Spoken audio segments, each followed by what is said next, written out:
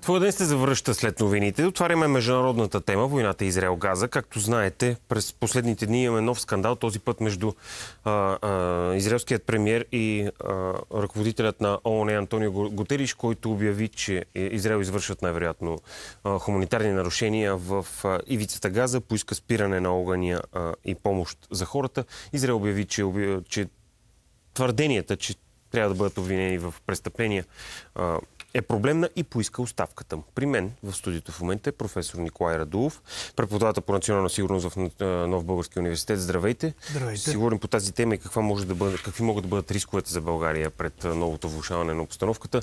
Кажете ми обаче първо, а, какво е впечатлението ви от а, тая поредна словесна престрелка между Израел и ООН? Задълбочават ли се разливите между международната общност и, и Телавив? Да, то е очевидно за всички опита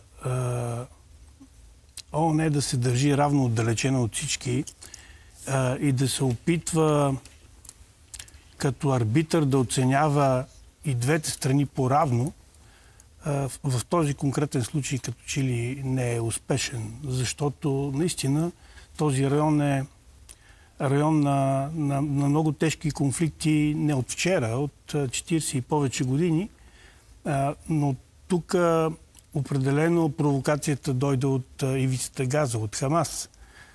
И няма как да се прехвърля отговорността за това, че Израел се опитва да се защити на това, че имат някакви завоевателни или вонолюбиви идеи. Това, това вече защита ли е? Когато си изтласкал на, на, нападението и просто взривяваш сгради в ивицата газа. Виждаме за какво става въпрос. А, значи, а, това, което виждаме е повърхността. Всъщност, големината на Хамас е такава, че почти всяко семейство а, има боец от Хамас. Плюс това, очевидна е, т.е. позната е тактиката а, бойците от Хамас – от една страна всяка нощ да спът на отделно място, за да избягат от полезрението на израелските специални служби и да се предпазят от унищожение. От друга страна да се прикриват под цивилни обекти. На тая малка територия под всеки един обект има тунели, в които бойците на Хамас се крият. Няма как Израел да реагира след като се изстрелват от най-различни места, от силно, силно, населени, места, силно населени райони, защото тук става дума за една много малка територия, без да отвърне на удара. Тоест, при това количество ракети, вие знаете, че като че ли за първ път се изстреляха срещу Израел от ивицата за толкова ракети. Такова огромно количество. Ответният удар не може да бъде само защита. Тоест, да е разбирам ли, че сухопътната операция, която очакваме неизбежна? Сухопътната операция е неизбежна. Въпросът е доколко ще е успешна, защото с нощи Израел навлязоха съвсем за кратко в северната част на Газа с танкове, с сухопътни войски. Извършиха удари върху точки, които те считат, че са много важни а, за предстоящото навлизане, за военните действия и след това се изтеглиха. А, едно такова поведение при сухопътната операция не знам колко ще е успешно, тъй като всички знаете, че отдолу под ивицата газа има тунели, които са, вече се твърди, че, че са над 1000 км. А, на, няколко, на няколко нива са и това е много трудно да се изчистват от, от структурите на, на Хамас. Правени са опити да се води борба с такива, с, с, с този тип партизанска война от тунели. Може би си спомнете, Виетнам беше прокопан отдолу с такива тунели. Американската армия и специалните части не можеха да се правят. Бомбардираха, това не помага, тунелите са дълбоко в земята, обезлистяваха цели горски масиви, за да се вижда предвиждането от една точка в друга, създадоха специално поделение тунелни плъхове и не успяха. Значи такава операция а, чисто военна е, е много трудно да бъде успешна. Това значи, че трябва цялата земя да бъде а, бомбардирана и прокопана на, Това какво означава, че хуманитарната криза в Газа става, ще става все по-тежка и все по-брутална? 100 на 100. 100 на 100. А, виждате, че много трудно е така желаното изселване на хора от северната част на Газа.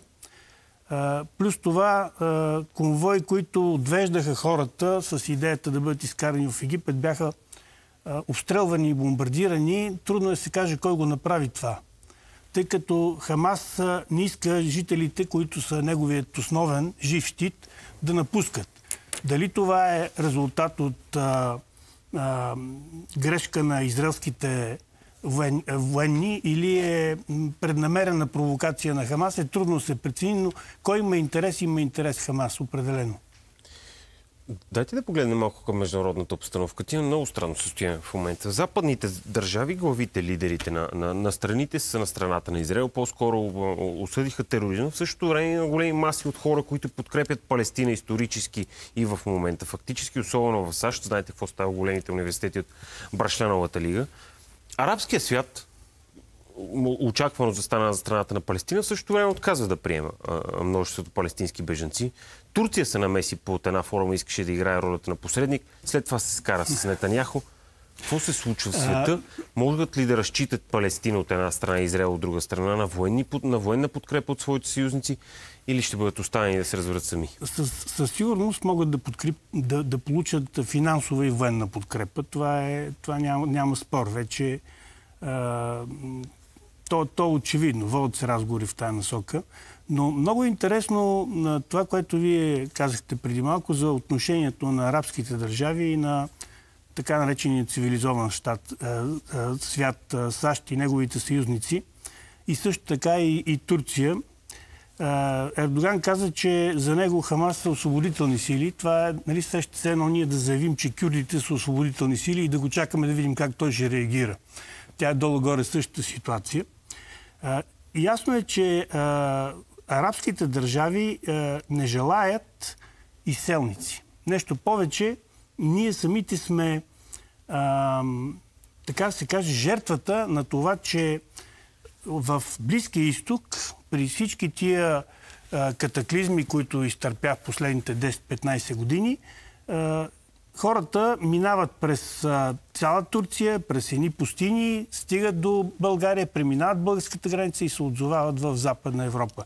Не ги, те нямат път и не желаят да отидат в тези арабски държави, въпреки че пътят там би бил по-лесен, просто отказват да ги приемат.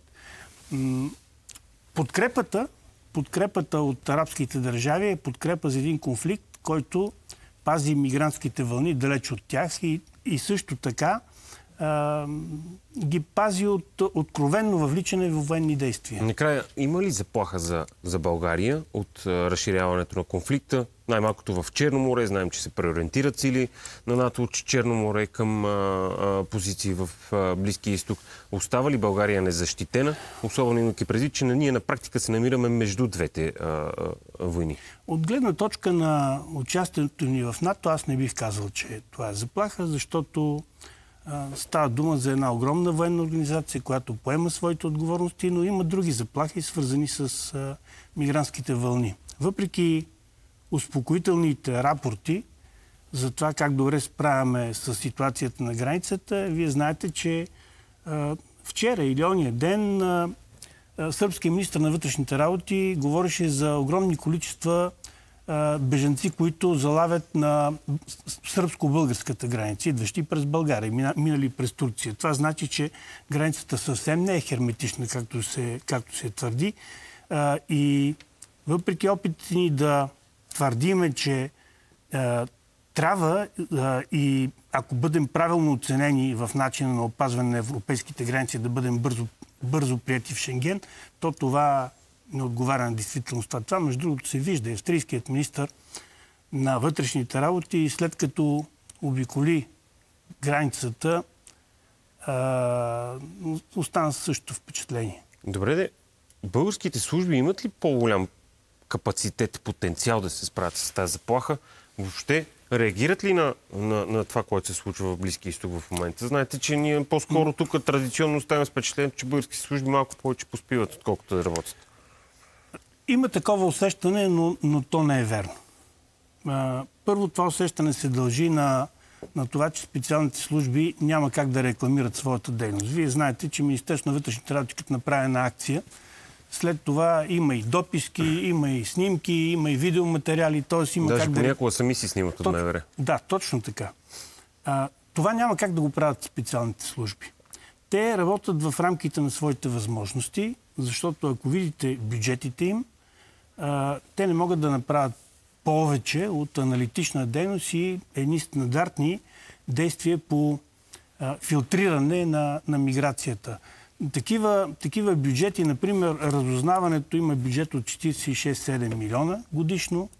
А, английското разузнаване, което показва същите дефекти като нашето, има около 6 милиарда паунда. Разбрахме ви. Трябва да приключваме. Нямаме пари. Добре, много ви благодаря. Професор